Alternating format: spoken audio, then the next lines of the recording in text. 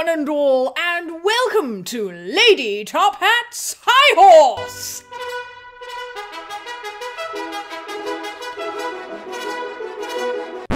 Today I'm going to be reviewing Thimbleweed Park. I know, I know, the last video I made was also a point and click adventure, and Thimbleweed Park is another point and click adventure. However, it was only just released. It was released on the 30th of March 2017. I know that everyone and their dog and their aunt's cat are reviewing this game at the moment. However, there will be no review quite like that of Lady Top Hat. Thimbleweed Park was published and developed by Terrible Toybox, which is code for Ron Gilbert. Ron Gilbert fans will know this name from Monkey Island, Secret of Monkey Island, The Cave, not to mention some other titles. And there are certainly hints of those games in this one. Lots and lots of references to previous Ron Gilbert games. And I must admit that I was never a big fan of those games. And I only knew about Thimbleweed Park because Sir Top Hat gifted it to me. He is, as you all know, a huge Monkey Island fan, and that's where he cut his teeth in gaming, as it were. However, I began playing this damn game, and it got me. It sucked me in with its clever storyline and its challenging puzzles. How dare you, Ron? How dare you? So I was forced to play this game and thoroughly enjoyed it. so, Thimbleweed Park is a classic point and click adventure, and just as in the Monkey Island games, after a certain amount of gameplay, a larger map appears and is given to you as the uh, human overlord, and you can direct the characters to different locations on the map. However, there is one point upon which I cannot compromise. And therefore, I need to get on my high horse. Dear game developers, it is 2017. We have all of the computing power of the modern world at our fingertips. So why, why, why are you releasing games with pixel graphics? Pixel graphics are the bane of humanity. It disgusts me that with all of our capability, with games like The Witcher, and even the mods capable on Skyrim, that games are still being released with pixel graphics! I hate it! And don't come at me like this game is set in 1987. This game needs to have the old style graphics to make it immersible. Rubbish! No one ever became immersed in pixel graphics, and if you did, then you're a pixelated person.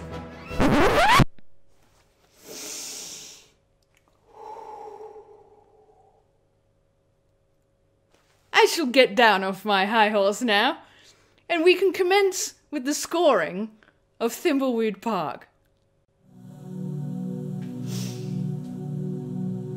The scoring commences through nine categories, and it is possible to reach a maximum of three points in each category. So there are 27 points up for grabs. If in a certain category the game is shockingly substandard, it will get zero points.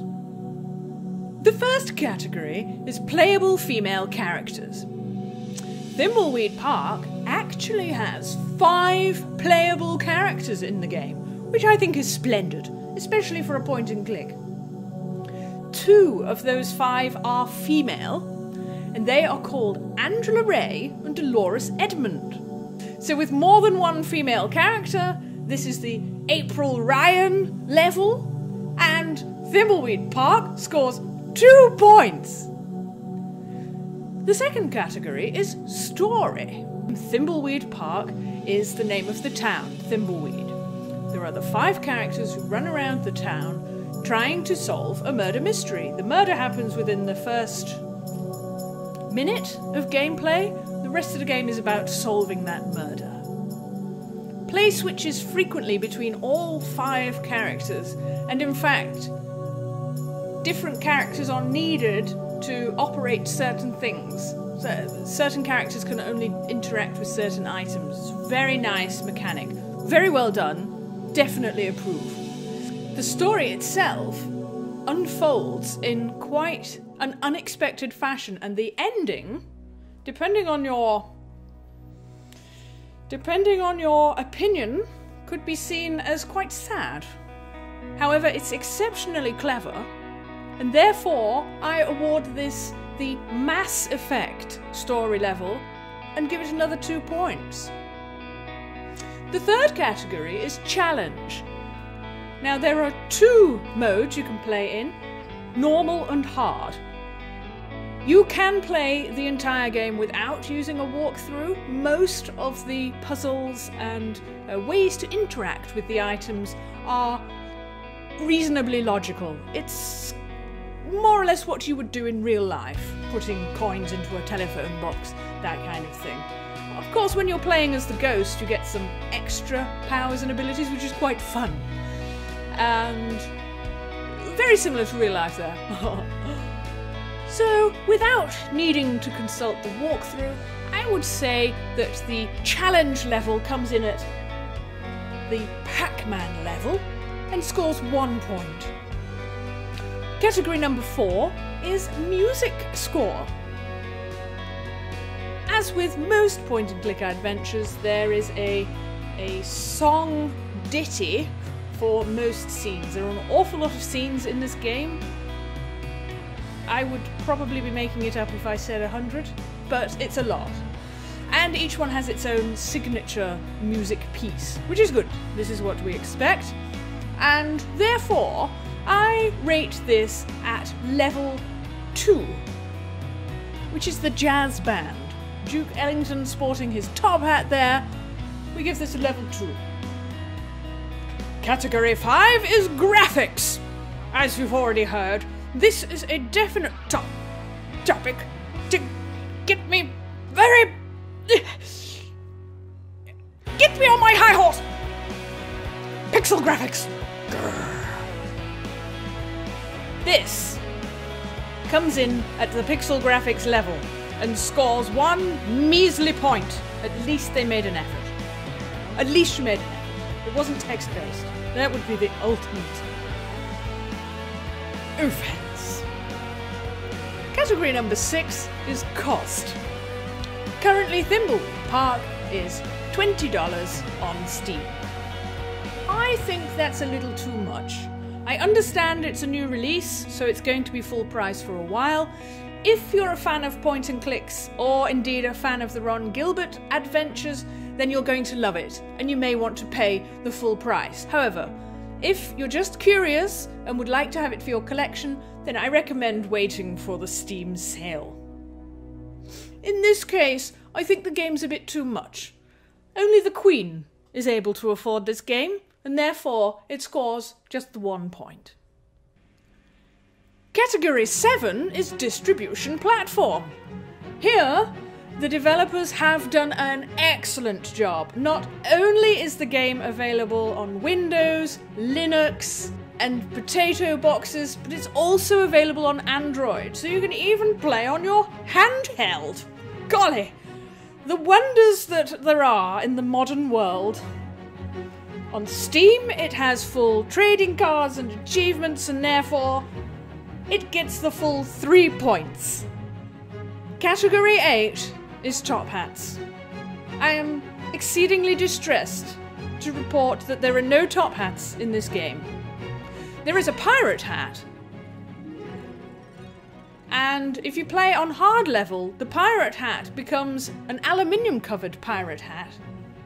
However, there is no top hat and therefore you are awarded the cloth cap of zero.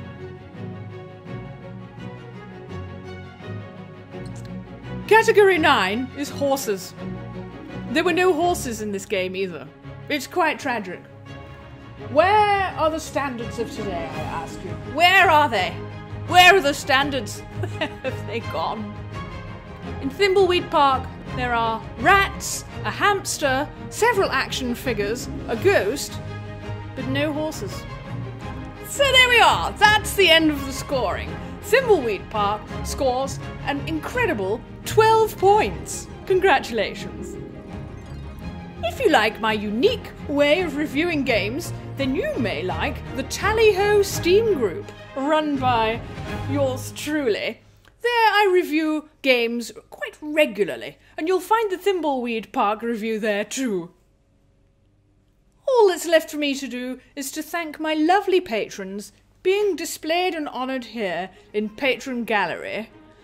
Behind me is Zalrock Chaos, Ledger Balance, Larsco, Datchet, and Resherenborn. Thank you, fine gentlemen, for your continued support of this channel. For now, I bid everyone Eh, a fond farewell. Tally ho!